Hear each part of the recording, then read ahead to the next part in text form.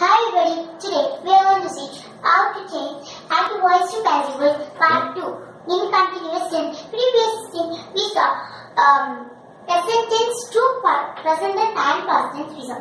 So now we are going to see continuous tense. So in this structure is an important thing which you need it. So in this first one, my uncle is giving a watch. In this, my uncle is a subject.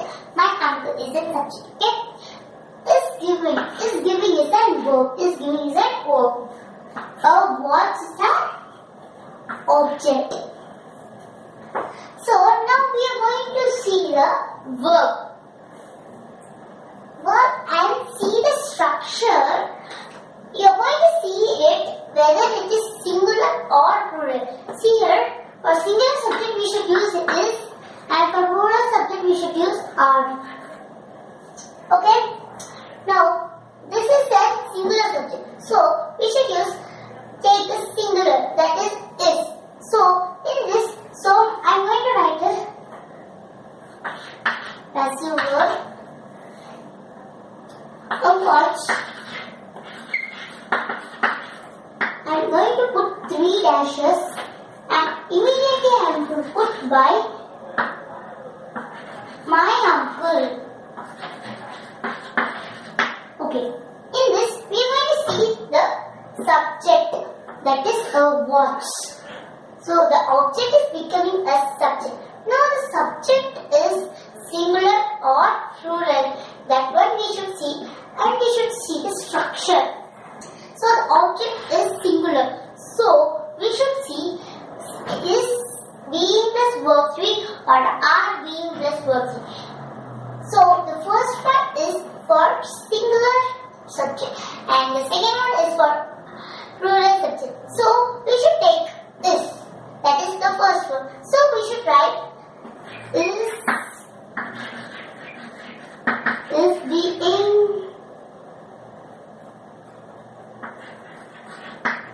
given. So we have to put like this and write it as given. We wrote for this one and we are writing the subject shape.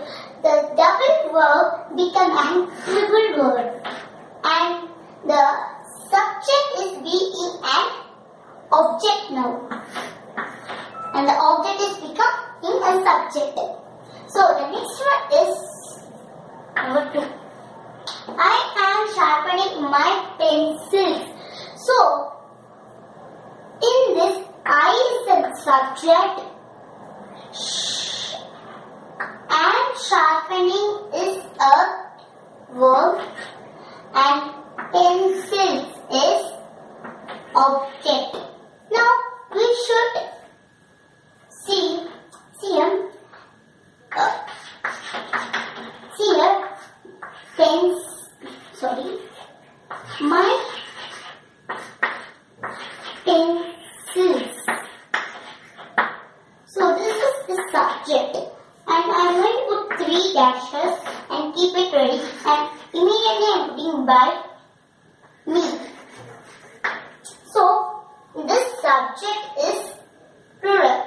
So we should take see the structure and see the first one is suitable for this song or the second one is suitable for this. So see the this is coming as so we should see the for plural subject we should take are. So we should take are plus being plus verb three. So that so what we should write is are being sharpen pen D E D okay and we should write here as sharpen so in this my pencil is a subject and double verb is becoming a triple verb and me is um object Okay, sorry, I wrote it the sharp pen spelling. Uh, I wrote here D, so it will be not coming D. Okay, I will read answer. No? My pencils are being sharpened by me.